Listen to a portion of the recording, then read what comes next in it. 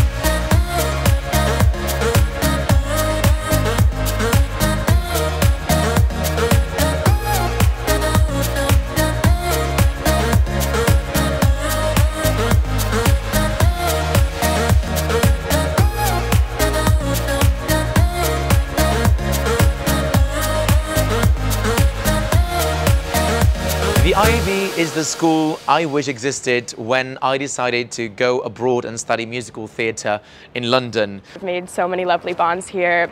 They're really giving us here everything. I would definitely recommend coming to the IAB. They really teach you on an individual level and um, try to push you to go as far as you can with anything that you do. It's a safe place, a safe environment for you to grow as an artist and as a person.